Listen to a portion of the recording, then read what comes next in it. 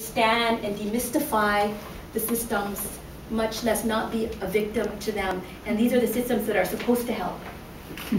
so I often use this as a good visual to see the, this is what, what are we asking her to do? What choices are we asking, what are we asking her to make? And to me, what is, the real question is, how do we define accessibility? And I'm not just talking about services, but I'm talking about in our organizing work. You know, it is is what, what is accessible? Is there accessible and safe spaces like this for advocates to talk about, we can't keep going down this road? What, uh, what, what other roads can we take to be more proactive about her not falling into this trap or trying to make some of these systems just a little bit better? So I think about it in terms of accessibility and, and inclusiveness. Um, I'm going to give another example in a second, but I just have some thoughts around um, this work, and I want to make it closer to home for all of you folks. I can't share the uh, confidential nature of the cases that I am seeing, but last year alone I had 88 cases. Um, Melanie is my grad assistant, so she sees women coming in every week um, into our office. Um, immigrant and international women are particularly vulnerable, not necessarily by age. PhD students, because they have so much at risk, are not going to name it. They are not going to come forward. Um, we're seeing all kinds of different forms of violence against women, um, different kinds of cyber stalking, um, texting, the use of Facebook and MySpace to humiliate women. We're seeing unauthorized um, distribution of, uh, of sex acts. Um, and whether the sex acts were authorized themselves, we don't know. And those are the forms of violence that we're seeing here on campus. And um, I would say that um, women of color and immigrant women are the majority of, of, of, our client population. So let me bring it back then to what it is that we're talking about, and I'm going to share one more story because I have only about five more minutes. Um, I have the pleasure of working with an amazing advocate who started doing her um, social justice work when she was about 16 or 17. And it happened like many of you purely out of necessity. Um, she is a Hmong woman living in Wisconsin, in rural Wisconsin. And it was during a time when she was a teenager, about 10 years ago, that there was a lot of racial profiling of Hmong teenage boys. And so they were getting arrested um, in large numbers. And community members were coming to her, in particular because she had a little bit more privilege as somebody who traveled more and who um, could speak English better than some of her Hmong sisters.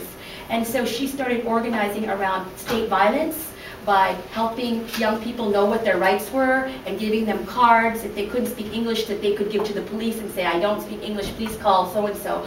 And as a result, she ended up starting her own organization that focused primarily on state violence and also the intersection of that and domestic violence because what happened when you put up your roof is that all the young women and girls start coming to you and saying, I'm being abused, I was raped. Um, and so I'm really fast forwarding what the amazing, the amazing work that she's done, but several years ago, in trying to do community building and organizing work, she got so frustrated because it felt like the Hmong community was being so resistant. And the Hmong community is tribal, so there are the leaders, there are male elders that ultimately make the decisions about who, um, you know, what, what the community decides to do. And so her name is Kabzuag, and she had told me at one point, you know, my new mantra is you got to meet us halfway. I'm so sick of trying to bring it to you and, and frame it for you and hand it to you in a nice apple pie way. And, and that's not how it really is, you know. And so you need to meet us halfway. And, and, and this resistance was really manifest in the, their most recent double um, murder, homicide, uh, murder-suicide in which a Hmong man killed his wife and then killed himself. Ultimately, the clans decided that they weren't going to pay for the funeral of the woman because they believed that she was cheating on him. And they would mm-hmm. only pay for the funeral of the man. And Kabzuag and other young advocates, you know, many of you are, are, are the same age, decided to go to the funeral. It was very risky for them to do this. There was no safety. To confront them, you know, and not to disrespect the actual funeral rite and passage, but to say, you know, this is not okay. You know, so when I think about how structural violence is being resisted, I think about people like Kabzuag, and I think about what kinds of support does she need in this new generation of the movement. And I think some of the questions that we should ask ourselves is, how do we push the violence against women's movement among other social movements? Why do we pit against uh, other social movements? Why is it distinct and separate? How are women's and feminist movements faring in general in social movements? How do we build stronger alliances with those social movements? What concrete things do we need to be doing? One of the things that we women of color in Hawaii are starting to do is looking at reproductive health as a broader umbrella so that we can have allies that we, think from the human rights and immigrants' rights um, movements that will not betray us. Um, and then, of course, as Njoroge had suggested, what is our analysis of global women's and social, uh, social uh, movements? And what are some possible strategies and recommendations for future action? So I'm going to hand it over to Njoroge to, to close for us, but what we both really want to do is engage with you in a dialogue about what some of those strategies might look like on the ground. And we have some thoughts for some recommendations for how do we take sort of intersectionality and this, this, this frame further in a way that really supports our movement building rather than hurting our movement building.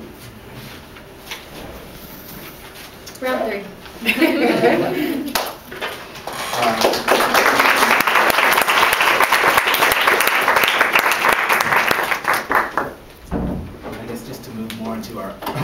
our strategy kind of action is to kind of really focus on this idea of intersectionality, not just between academics and activists, not just between different sort of groups, movements, and activities, but actually kind of really think quite critically. I mean, when we look at this uh, this incredibly Kafkaesque uh, diagram here, I mean, this is inter intersectionality. I mean, in ways, the ways in which sort of state terror, in some ways, intersects with domestic violence, and the ways in which women of color, in, this instance, immigrant women of color, have to navigate this this Byzantine kind of system.